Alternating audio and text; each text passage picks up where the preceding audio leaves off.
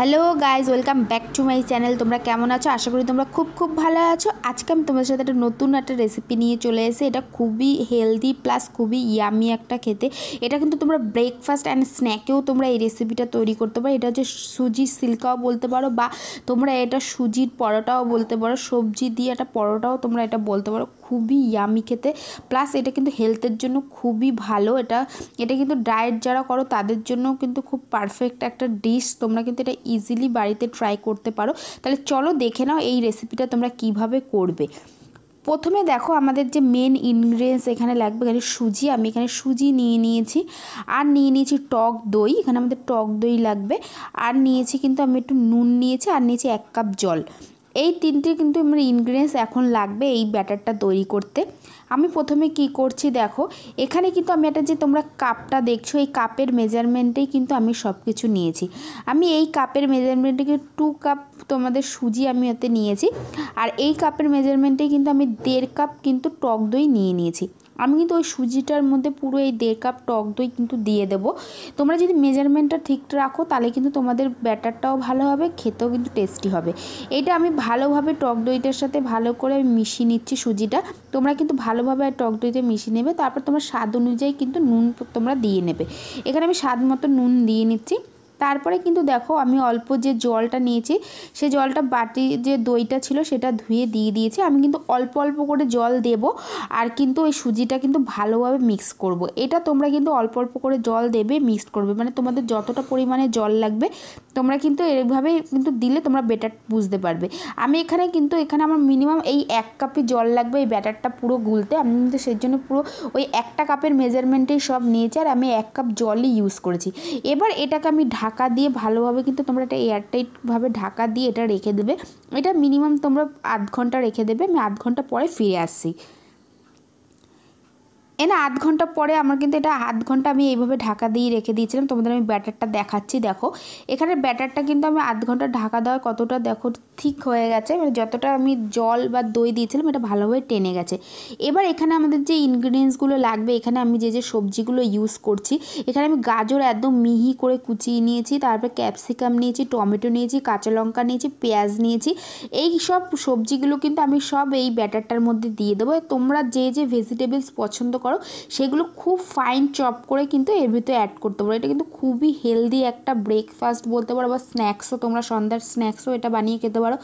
খুবই tasty plus এটা বাচ্চাদের কিন্তু খুবই ভালো একটা হেলদি ডিশ আর এটা কিন্তু এটা যেমন হেলথের পক্ষেও ভালো প্লাস এটা কিন্তু ভরপুর ভিটামিন কিন্তু এটার মধ্যে আছে। তোমরা বাচ্চারা যদি সবজি খেতে না পছন্দ করে তা তোমরা কিন্তু এইভাবে তাদের এই সবজি কিন্তু খাওয়াতে পারো। আর এর মধ্যে তোমরা কিন্তু সুইট কর্নও অ্যাড করতে পারো। তোমরা যে যে ভেজিটেবলস পছন্দ করো তোমরা সব কিছু অ্যাড করতে পারো। আমার কাছে যেগুলো ছিল আমি সেগুলো এখানে অ্যাড করছি। তোমরা থিকনেসটা দেখতে পাচ্ছ এটা কতটা থিকনেস হয়েছে। আমি এখানে কিন্তু জল আমি এই ব্যাটারটা একটু সামান্য পরিমাণে জল ইউজ করব খুবই সামান্য পরিমাণে দিয়েছি। আর এটার যে তোমাদের ব্যাটারটা কিন্তু খুব বেশি গাঢ়ও হবে না আবার একদম পাতলাও হবে না। একটা মিডিয়াম কনসিস্টেন্সি থাকবে। এই পরাঠাটা কিন্তু তোমরা যে কোনো আচার সস এইসব দিয়ে খেতে খুবই টেস্টি লাগে।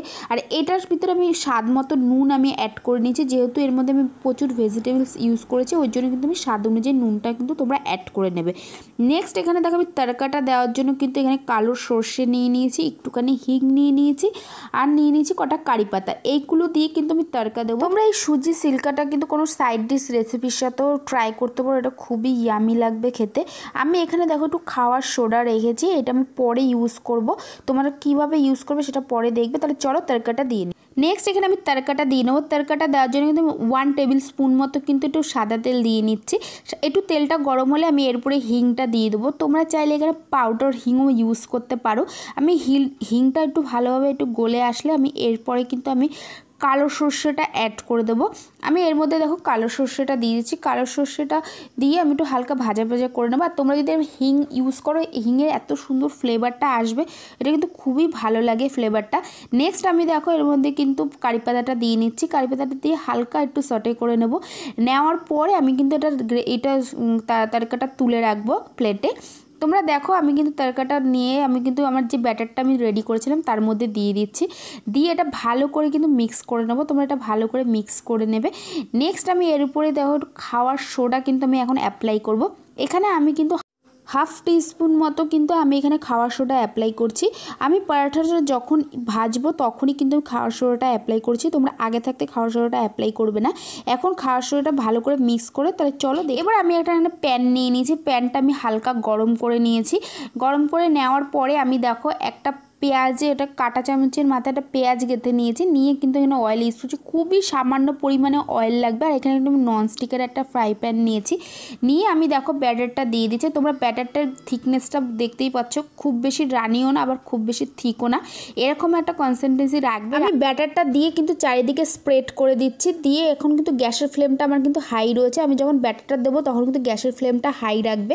তারপরে কিন্তু দেখো আমি এখানে যেরকম পরোটায় যেরকম আমরা থিকনেসটা রাখি খুব বেশি মোটাও না, খুব বেশি পাতলাও না, এরকম একটা থিকনেস কিন্তু তোমরা রাখবে। তারপরে আমি কিন্তু ঢাকা দিয়ে দুই তিন মিনিটের জন্য রেখে দেবো। তোমরা যখন ঢাকা দিয়ে এটা রাখবে, তখন কিন্তু গ্যাসের ফ্লেমটা মিডিয়াম করে দেবে, একদমই হাইতে রাখবে না, তাহলে কিন্তু পরোটাটা পুড়ে যাবে আর এটা ভালোভাবে সেদ্ধও হবে না। এটা দুই তিন মিনিট পরে তোমাদের দেখাচ্ছি, দেখো এটা কিন্তু উপর দিক খুব সুন্দরভাবে ড্রাই হয়ে গেছে। তোমরা এটা বুঝবে কী করে পরোটাটা হয়েছে। উপর দিয়ে যখন পুরো ড্রাই হয়ে যাবে, তারপরে কিন্তু তোমরা উল্টে দেবে। দেওয়ার পরে এটা আবার দুই তিন মিনিট ঢাকা দিয়ে রেখে দেবে, তাহলেই দেখবে তোমাদের পরোটাটা খুবই ভালোভাবে হয়ে আসছে। সবজিগুলো যাতে খুব ভালোভাবে সেদ্ধ হয়ে যায়, আমি এইভাবে দুই তিন মিনিট ঢাকা দিয়ে রাখব। তারপরে তোমাদের তুলে দেখাবো, সার্ভ করে যেটা কতটা খেতে ইয়ামি বা দেখতেও কতটা সুন্দর হয়েছে। তোমরা দেখতেই পাচ্ছ এটা লুকসটা এটা কিন্তু খুব সুন্দর। দেখো, পারাটার মতো কিন্তু আমি সেকে নিয়েছি, আর এটা খেতে কিন্তু খুবই ইয়ামি প্লাস এটা খুবই হেলদি তোমরা এটা অবশ্যই বাড়িতে ট্রাই করো, যদি ভালো লাগে অবশ্যই এটা লাইক করো আমার চ্যানেলকে সাবস্ক্রাইব করতে ভুলো না। তোমাদের ফ্যামিলি ফ্রেন্ডসের সাথে কিন্তু অবশ্যই শেয়ার করো। Okay bye